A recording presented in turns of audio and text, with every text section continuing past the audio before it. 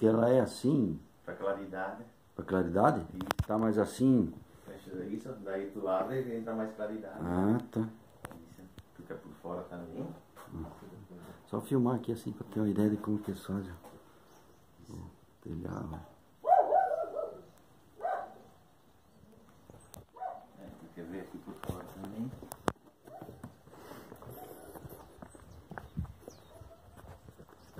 E aqui eles moravam, no caso. Sim. Quando ele veio da Itália, ele morou aqui dentro na bisavó. Mas também numa casa dessa aí dá pra morar, Ah, bonito não, com que é. certeza. Mas Com tá louco. certeza. Né?